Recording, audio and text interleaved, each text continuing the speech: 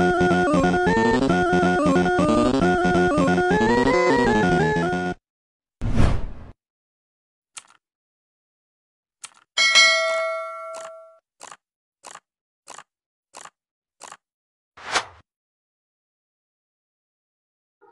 So, what's up sa inyo mga idol? So, nagbabalik ulit tayo dito sa kabal topic natin. So, hindi na naman tayo nakapag-upload ng ilang araw, no? Kasi masyado akong na-busy din. Okay, so ngayon, yung pag-uusapan natin, yung about dito sa ayuda. Yung mga maling ah, ginagawa ng mga players or hindi lang tungkol sa ayuda, kundi sa ano, sa about talaga dito sa kabal, yung mga maling ginagawa ng mga players kaya hindi lumalakas or hindi nag improve yung mga items. Okay, so tatalakayin natin yan ngayon. Okay, so umpisa muna natin sa ano. Umpisa muna natin sa pag-upgrade. So, dito maraming nabibiktima dito eh. Yung mga baguhan or mga free to play, kahit hindi baguhan. So, madalas kasi ginagawa to yung mga nag-upgrade ng weapon. So, ina-upgrade nila yung mga weapon nila. So, halimbawa, ah, yung weapon mo plus 8 na, gusto mo i-plus 10. So, ngayon, nakapag plus 10 ka na, gusto mo pa rin i-upgrade. Gusto mo i-plus 15. So, maling-mali yon Kung, kumbaga, kung free to play ka, maling-mali na yon Kasi kapag magpa-plus 15 tayo, kailangan natin ng malaking budget.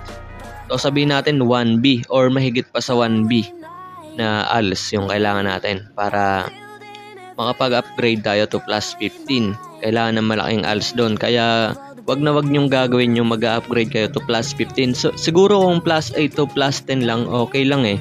Hanggang siguro plus 12. Sabihin natin plus 12 kasi kayang-kaya pa naman i-upgrade yan. Ng ano lang, ng murang halaga lang.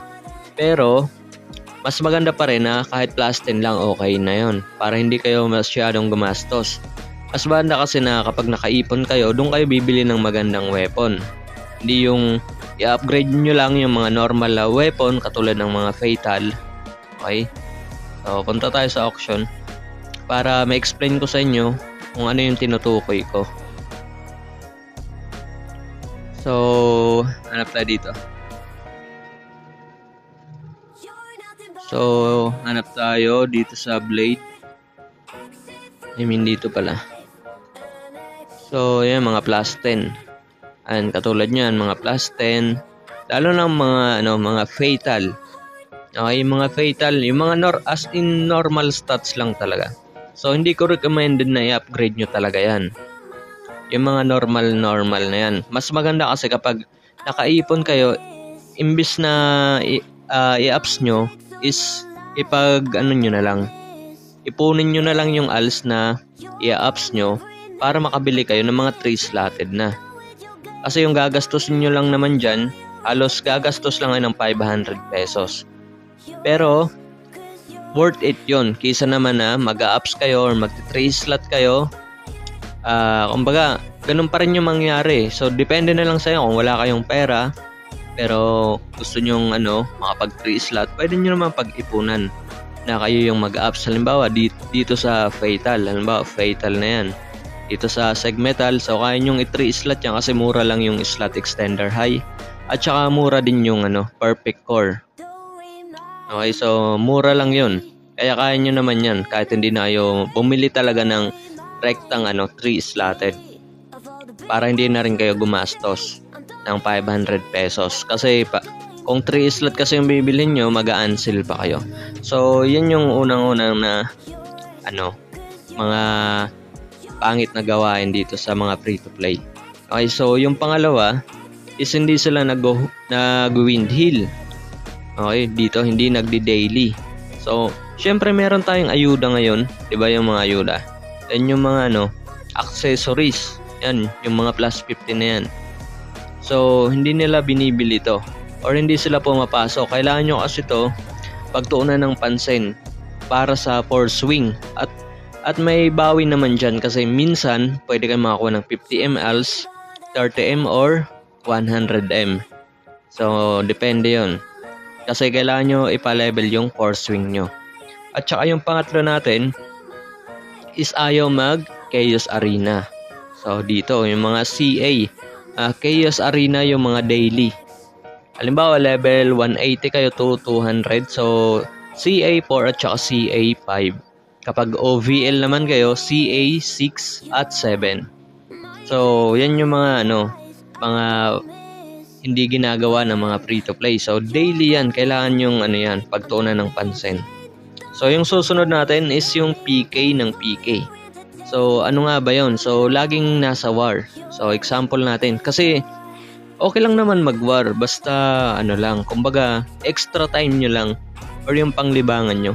Pero kung ginagawa nyo na halos maghapon, nandito kayo nakatambay, ayan, ay pagpatayan kayo dito, ayan kahit saang channel dyan. Kasi ako ginagawa ko naman yan ay pagpatayan naman ako dito. Pero extra time lang yun. So, hindi yung ano, as in oras ko talaga. Okay? So, yung susunod natin, yung, ito yung mga pangit na ginagawa talaga. Yung create ng create ng mga account. So, halimbawa, meron na kayong main. Sabihin natin, yung main nyo, Blader. So ngayon, nakapag-create na kayo hanggang umabot kayo ng 180 to level 190. So yung ginagawa nila or yung ginagawa ng ganitong mga kalakaran dito sa mga free to play is gumagawa sila ng panibagong account na naman or character. So yung ginagawa nila, papa-level ulit nila. So hanggang 180 to 190 pa rin. So hindi sila makontento at saka lilipat na naman ulit kasi nga parang may kulang. So yun yung mga rason nila yung para may kulang na hindi nila alam. Parang naboboring sila or tinatamad na kaya gusto nila panibagong class. So, yun yung isang uh, maling ginagawa dito. Okay? So, sa akin kasi, na-experience ko na yan. So, ginawa ko talaga yan. Yung create ng create hanggang sa ano, naubos ko lahat ng karakter na subukan ko na. So, hindi pala sa karakter yung yung uh, hinahanap ko kundi sa damage. So, nabibitin kasi tayo sa damage. So, akala natin mas malakas yung ibang class. Kasi minsan nakakapag duel tayo or PvP, na ipag PvP tayo tapos matatalo tayo ng ibang class. So, maano tayo, mapapaisip tayo, mas malakas ba yung ano, isang class na yun? So, yung ginagawa, uh, gagawa sila ng panibagong account or character. So, yun yung ano, uh, wag nyong gagawin. Kailangan magtiis kayo para mas lumakas yung karakter nyo. Kasi hindi nyo makukuha yun sa kaka-create ng karakter. So, yung susunod natin, yung ayaw mag-daily run. So, ano yung mga daily run natin? Yung S1, S2, FT2, yung mga yung mga P1. So, lahat ng ano, halos lahat ng dungeon, guys. Kailangan natin kahit 5 runs lang every dungeon, okay na yun. Okay na yun. So, pero mas ma, mas maganda kung 10 runs every dungeon or mas higit pa kung kaya. Pero kung saktuan lang yung oras nyo, kahit 5 runs lang sa lahat ng dungeon, okay na makuha nyo lang yung mga daily. Mga daily reward, lalo na sa mga DX. Mas importante kasi guys yung mga DX dungeon. So, alam nyo kung bakit. So, kailangan nyo kumuha ng ganito. Ayan. Etong merit uh, medal exchange ticket. So, kailangan nyo yan para mas mas makapagpa-level pa kayo ng merits nyo. Okay? So, yung susunod naman na mga mga pangit na ginagawa ng iba is yung magbebenta sila hal- halimbawa nakapulot kayo ng mga item so halimbawa ganito gagawin nyo halimbawa natin dito sa ano halimbawa sa upgrade core highest So, halimbawa, ganyan yung presyo. Ito yung minimum talaga, yung 202K.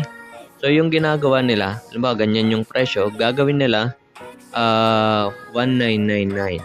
So, yan, mas binabaan nila yung presyo. So, yung gagawin ng iba, yung gustong mauna yung mabili yung sa kanila is bababaan rin. So, pababa ng pababa yung presyo. Ito yung mga gawain tala ng mga free-to-play. Hindi naman kasi to ginagawa ng mga ano, yung mga dating player na talaga dito. So yung ginagawa nila, susundin talaga yung minimum. Kumbaga mag stay lang sila dyan. So kung gusto mo mabili agad yung item mo, mag-revend ka lang. So ano yung revend? So ganito yan. Halimbawa mag-bend kayo ng ganyan. Tapos yung mangyayari dyan, ba ganyan, register nyo. Ang gagawin, pindutin nyo yung change tapos re-register. So, pipindutin nyo ulit yung minimum at uulitin nyo lang para tumaas yung ano nyo. Kumbaga yung binebenta nyo is mauunang makita ng mga player. So, hindi nyo kailangan babaan yung presyo para mas mauna lang mabili yung item nyo. Kung ano talaga yung minimum, yun lang yung susundin nyo.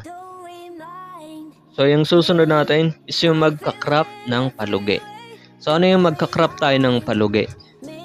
So, yung tinutukoy ko dito guys, yung mga nagka-crop dito kay Chloe at saka ibebenta. So, hindi nila hindi nila binibilang or tinatansya kung lugi ba sila or hindi. So, halimbawa na lang natin. Halimbawa lang to guys ah. Halimbawa dito sa entry, dito halimbawa sa uh, Forbidden Island, so itong Lost Island Compass, halimbawa ikakrap mo yan, kailangan mong kwentahin kung magkano yung ginastos mo. Halimbawa, kailangan nyo dito ng Rowstone Dimension. So, 1M yata yung ano niyan, 10. 10 piraso. So, 1M. So, gagastos pa kayo ng Infernal Ruby. So, titignan nyo muna sa auction. Titignan nyo muna dyan sa auction. Yung, ano, yung presyuhan talaga. Halimbawa, ikakalculate nyo yan. Amaya. So, ayan. Ito yung mga presyo ng Infernal Ruby. So, uh, 187k each. So, yung isang peraso nito is 187k. So, kung 127 pieces, 23M yung yung total. Kung bibilhin nyo talaga yung 127 pieces. Okay? Tapos, gagastos pa kayo doon ng ano uh, ano ba tawag doon? Kalimutan yung pangalan. So, ito. Ayan, yung Rowstone of Dimension. So, gagastos ka yan. 1M lang, tapos 10 lang yung piraso. So, dalawa lang yung maakrap mo doon sa Forbidden Island. At saka titignan nyo yung presyo ng Forbidden Island doon sa auction. So, lahat naman ng ano, applicable naman yon lahat ng kinakrap nyo applicable. I-check nyo palagi yung presyo ng hindi kayo malulugi. Kasi merong, uh, meron tayong tinatawag na tax may tax kasi guys yung ano auction. So hindi niyo makukuha ng buo yung binenta nyong ano, kumbaga yung exact amount na kung magkano yung binenta nyo. So hindi niyo makukuha yon kasi meron tayong tax. Okay, so ayun. Kailangan nyo lang talaga mag-ingat sa mga binebenta nyo para hindi kayo malulugi. So ito pa, isa pa rin to. Yung magkakrap ng weapons at armors. So ano nga ba yung weapons at armors? Dito yun guys dito. Ayan, magka-crop kayo dito. So yung iba, nagpo-focus lahat ng ALS nila binubuhos nila sa pagka-crop para daw mas makabawi. So ganito ganito lang yung guys. Yung craft kasi guys, kailangan nyo ng malaking budget. Or kumbaga yung sobrang ALS nyo lang, yun lang yung ilalaan nyo sa pagka-crop. Kasi yung pagka-crop guys, parang sugal din yan. Kasi uh, minsan nagpe-fail yan. So hindi yan success lagi. At saka hindi kayo makakuha lagi dyan ng mga ano, mga huge crop na tinatawag. So huwag kayo susugal dyan kung saktuhan lang yung ALS nyo. So eto pa, yung ayaw mag-collection. So ano yung ayaw mag-collection guys? So dito yun, yung collection. Ayan. Yung ayaw na ayaw mag-collection. So yung iba ini-ignore talaga to. So pansinin niyo yung mga stat ah yung mga stats na nakukuha ko, ayan. Tignan nyo yung mga stats na yan. Malaking maitutulong yan para mas kumunat kayo at mas lumakas yung karakter nyo. So, ito talaga yung mga ayaw ng mga ano, free to play. So, isa na rin to na napapansin ko na binabaliwala. Ayan. Napakaganda niyan guys, mga stat na yan. Kaya kung ako sa inyo, ngayon pa lang isang ko-collection na kayo So, sundin nyo yung mga requirements kung kaya lang naman ng ALS nyo. So, maliban doon sa collection guys, eto na yung last natin. Yung ayaw na ayaw mag-upgrade ng runes or uh, kumbaga sa huli na sila nag-upgrade ng runes. So, unang-una pa lang guys, pagtuunan nyo na agad ng pansin yung runes. Okay? Dito yan guys. Nandito sa soul ability. So unang-una pa lang guys, pagtuunan nyo na ng pansin to. Kasi dito guys, dito nyo makukuha yung sapat na kailangan nyo sa karakter nyo. Halimbawa katulad ng max critical rate or sword skill amp. So mas mas ma-upgrade or mas ma-maximize nyo pa yung lakas ng karakter nyo or kunat ng karakter nyo. Ay no, mayroon pa tayong HP absorb so dito nyo makukuha. So kumbaga karagdagan na ano yan, damage. So wag nyong babaliwalain yan, pati rin tong blended. So yun, so sana nakatulong tayo sa mga free to play na para hindi maligaw or mas umangat pa yung karakter na lumakas talaga. So ayun, dito lang muna tayo. Huwag nyo kalimutan i-like yung video guys. At mag-comment na rin kayo.